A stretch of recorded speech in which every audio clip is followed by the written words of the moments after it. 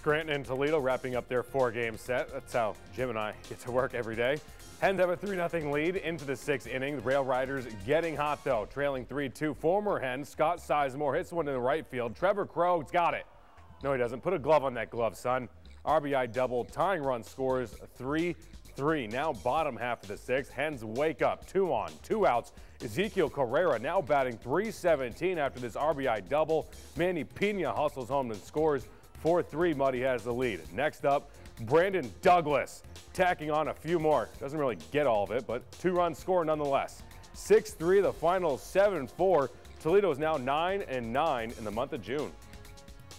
They're a good team. Um, they got a lot of guys who can swing the bat. As you can see, this whole series, they stayed around, they played well. Uh, you know, to beat them, you got to play nine innings, and I think we did that today.